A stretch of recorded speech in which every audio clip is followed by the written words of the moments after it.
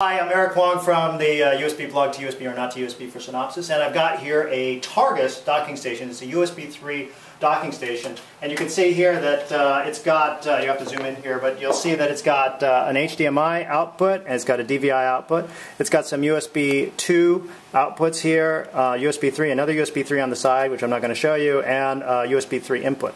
So what we're going to do is uh, we're going to take this and we're going to plug this into our host controller, which you've seen from other videos. It's the fastest host controller in the universe.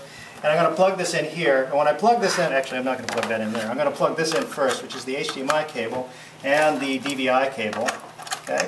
Once I plug that in, um, now you're going to back up with that camera, and you're going to you're going to see you're going to show all three monitors on your screen there. When I plug this in, what should happen is um, these screens will come up as alternate monitors. So now actually you've got your primary monitor here, and you've got this monitor up and running here. Okay, that's one of them, and then this one which actually is powered on. And uh, this is going to be running. So now I have three desktops. So if I go, if um, if you actually go up here, if you can get the video here, um, go here, you're going to see that if I go look at screen resolution, you can see I've got three, uh, three, one, two, three. So back up, and you'll see that you have three, two, one, different, three different monitors running. And of course, I know everybody has three high-resolution HDMI monitors at home, or at least two, plus their old one.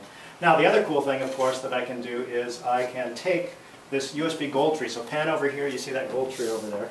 I'm going to take this USB 2 cable and um, I'm going to plug it into the gold tree here. Uh, plug it into here. So remember, we've got this gold tree. It's got all these devices on it.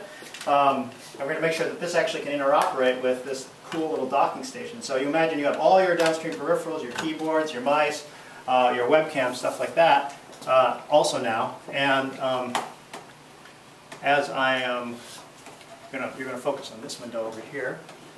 Um, oh, wait a minute. Actually, go back up there. So that's where that's where the that's where the thing popped up. So this is one of these are the two things that popped up. Okay. Now come down, come, back down here. If I'm going to come down here, I'm going to launch the uh, webcams that are actually here now. So uh, let's see. Um, webcam, webcam, webcam run. So there's one, there's one webcam you can see there. We have our videographer there. And uh, let's launch the other one, run, and uh, we're gonna, uh, okay, here we go. Uh, is the other, other video camera here, so we have our other video person there. So, very good. So, uh, you can see now that you've seen this cool USB 3 docking station, you've seen it interoperate with a, whole, with a couple different monitors, and you've seen it, uh, you've seen it, um, you've seen it uh, work some, with some webcams and show all kinds of video. That's it. So, a cool USB 3 docking station, this is the way of the future. Thanks for watching.